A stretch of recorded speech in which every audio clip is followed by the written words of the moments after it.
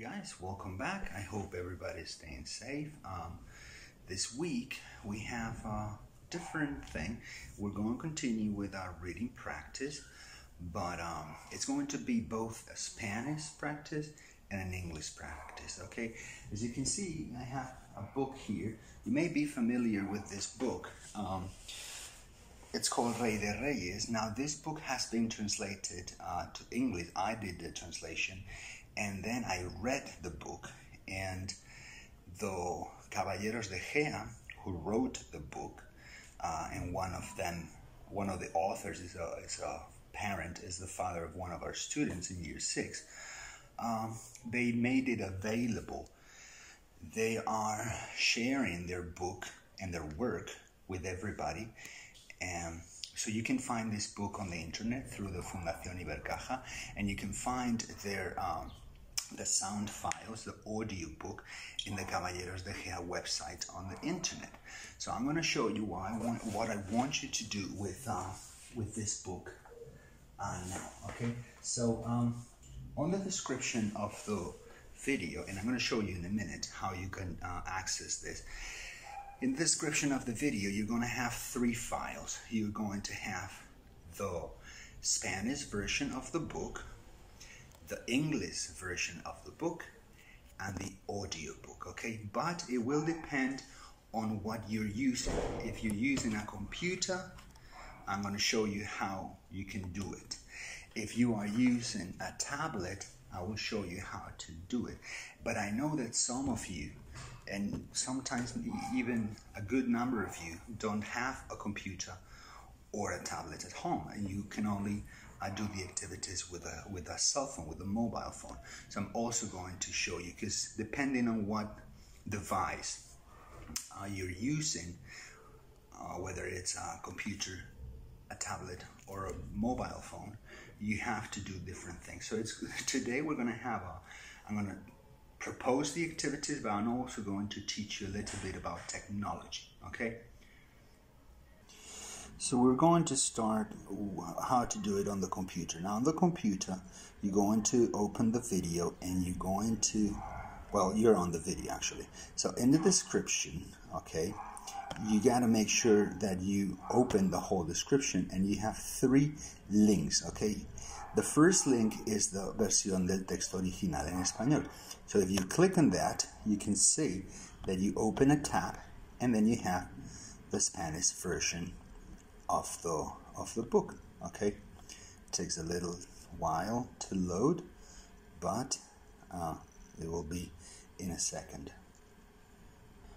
So we can see the uh, the book in Spanish, Rey de Reyes. Okay, and you can go to the introduction and the thanks and all that, and then we start with the presentation, and then we start on 1973, his birth, su nacimiento, and you have the text, okay? All right, so that's the Spanish version. Then, if you go again to the description of the video, the second link is the English version of the book. We click on that, and it opens again the edition in English, okay? So as you scroll down again, you will see the text in English. Okay, so we're going back to where we were to the first page of the story 19 uh, eight, sorry 1073 his birth. Okay you have there the text okay with the pictures and the illustrations. It's a great, really good book okay? And then if we go back to the um, to the video.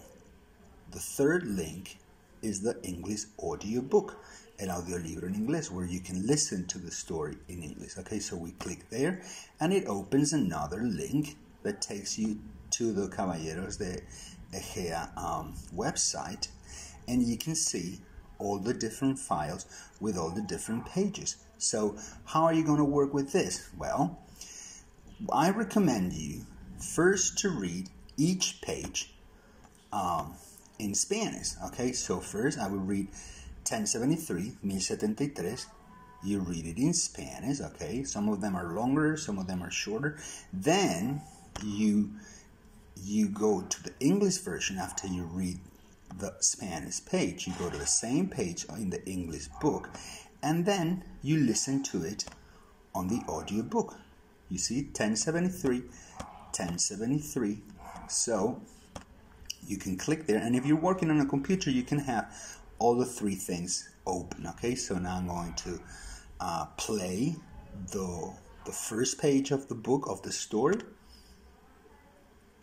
The year 1073. That's me. In the current And now I go to the book. cold autumn night, And I can follow the reading. named Alfonso was born.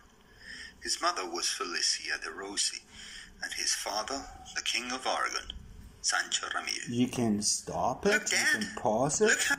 If you don't understand something, you can pause it and you can compare the Spanish and the English at the same time. And when you're ready, you can continue with the story. Okay, so that's how you would use this, uh, these resources, these activities on a computer. Okay, I'm going to show you now how to do it on the tablet. Okay, so you will go to the video on YouTube and you're going to have again the three uh, the three files okay that we have on the description as on the computer. So the first one is going to take you to the Spanish version of the book. So you click there and it tells you to open it with one uh, program or another. And it's going to ask you to download it. So what you're going to do is download it and you will have it in your um, you see it's downloading. Uh, let me see if I can show you. It's downloading over there. It says it's downloaded. So then you will have to access it in your tablet. You will have it on downloads and descargas okay? As you can see it's not really big. It's only 20 uh, MBs but uh, takes a little while. Maybe it takes two minutes to download. And and then I'm going to show you how you can find it on your tablet I'm not sure if your tablet's going to be like this one but so from the you will go to the main menu. You will go to your file manager.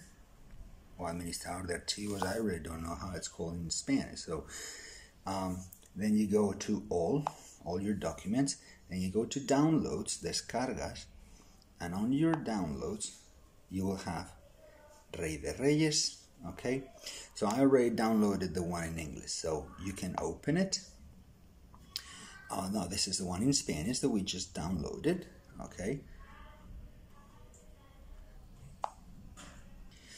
I hadn't. I'm downloading it right now. It's the same size not too big.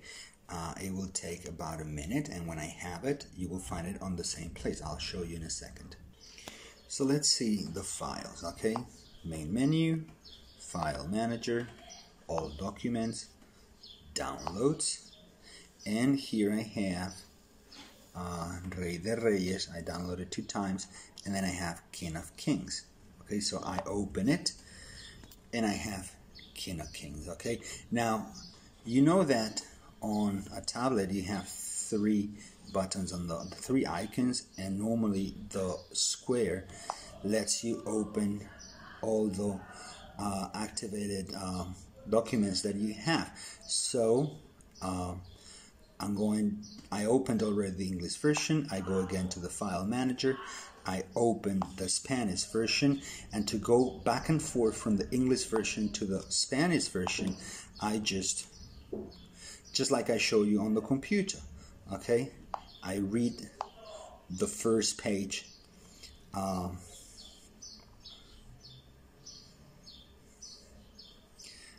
read the first page first in Spanish and then I can read the English one. So I go back and forth between the Spanish version, then I read all the pages first. When I finish with the first page, I go to the second page, 1080, and then I go to the second page of the English version, 1080 in English. Okay, now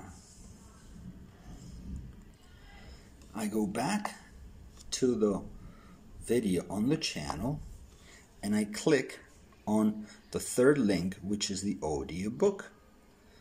And I will open it with Firefox, Chrome, or whatever uh, you want to use. And that takes me to the page of, again, to the website of Caballeros de Exea where I can find the audiobook. Now, if I want to read the page that's 1080, well, I click and I will start listening. Little is known of Alfonso's childhood in the heart of the royal house, except for a few experiences that carved his future personality.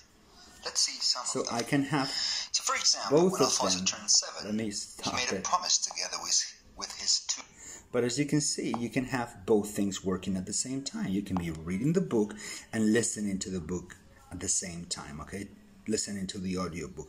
When you finish one file, when you finish one page, you will have to move on to the next uh, chapter, the next page, play it, and go back to the book in English, all right? But remember, always read it first in Spanish, okay?